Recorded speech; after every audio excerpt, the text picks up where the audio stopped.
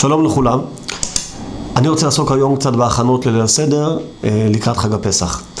המצווה העיקרית, מעבר לחמץ ולמצה וכולי, זה מצוות סיפור יציאת מצרים. הצורך אה, להעביר את המורשת, להעביר את השרשרת לדורות הבאים. המצווה הזו מקוימת על ידי אה, אמירת ההגדה, הגדה של פסח. אבל אם מתבוננים בהגדה עצמה, רואים תופעה כמדומני מאוד מעניינת, שלא כל כך שמים אליה לב במבט שטחי.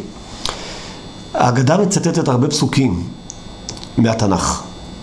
ועם זה, אה, כמעט ואין פסוקים שמתארים את יציאת מצרים שלקוחים מתוך חומש שמות, מתוך סיפור הדברים אה, בתורה עצמה. הרי התורה מעריכה מאוד בסיפור המכות ויציאת מצרים והתגובה של פרעה ושל ישראל. אין מזה בהגדה ולא כלום. מה כן יש בהגדה? כשכבר מדברים על יציאת מצרים, אגב, בסוגריים, צריך לשים לב שרוב ההגדה לא עוסקת בסיפור יציאת מצרים עצמו, אלא בכל מיני דברים בהיקף, מסביב לזה, כמה צריך להרבות, אפילו כולנו חכמים, כולנו זקנים, מתי צריך לספר וכולי. סוגר סוגריים. איפה בהגדה כן מספרים את יציאת מצרים? בשני ציטוטים מהתנ"ך. ושניהם לא לקוחים מתוך חומש שמות.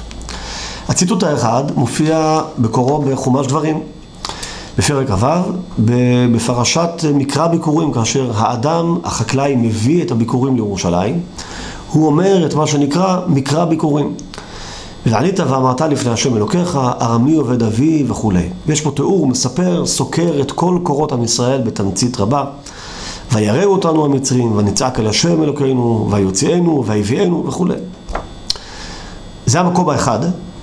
והמקום השני שבא להגדה מצטט בפסוקים מהתנ"ך בהקשר של סיפור יציאת מצרים, זה מספר יהושע, לקראת סוף הספר, בפרק כ"ד, ויאמר יהושע אל כל העם, כה אמר השם אלוהי ישראל, בעבר הנהר ישבו אבותיכם מעולם, תרח אבי אברהם ואבי נחור, ועבדו אלוהים אחרים. ויקח את אביכם, את אברהם וכולי. ויתן יצחק את יעקב וכולי, ויעקב ובניו ירדו מצרים. הנה, פה מספרים על הירידה למצרים, ובהמשך של אותו פרק גם מסופר, מסופר על השעבוד ועל היציאה ממצרים. רק מהמקומות האלה בתנ"ך ציטט בעל ההגדה. והרי זה פלא. כאמור, הרי התורה מלאה בסיפור יציאת מצרים. חצי חומש שמות עוסק בסיפור uh, המכות ויציאת מצרים. ובעל ההגדה לא מצא מקום להביא ולו פסוק אחד מה, מהחלק הזה בתורה. זה פלא עצום.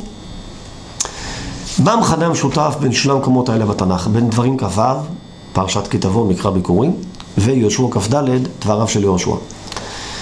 לעניות דעתי המכנה המשותף הוא שבשני המקומות האלו יציאת מצרים מסופרת בפי אנשים שלא היו שם, שלא הם יצאו ממצרים, או היא מסופרת לאנשים שלא הם היו שם, במצרים, הם לא יצאו משם, הם שומעים את זה ככלי שני. במקרא ביקורים זה ברור, החקלאי שיבוא לארץ, יביא את הביקורים, הוא באופן אישי לא היה במצרים. ולמרות זה הוא מספר לכהן את כל ההיסטוריה, כל ההשתלשלות של קורות עם ישראל, כולל יציאת מצרים.